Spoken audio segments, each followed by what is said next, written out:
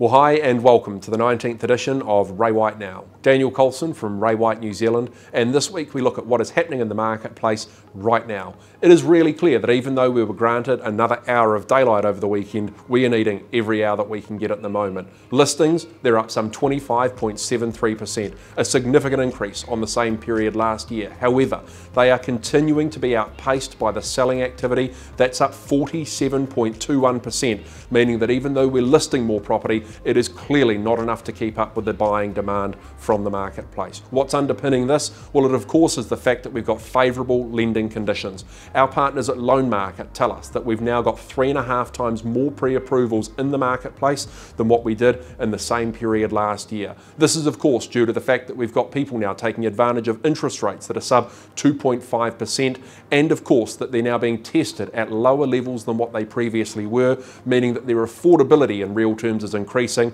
and our owners are having an opportunity to take advantage of it. That is being reflected in our auction results. We took 104.8% more properties to auction in the last seven days than we did in the same period last year.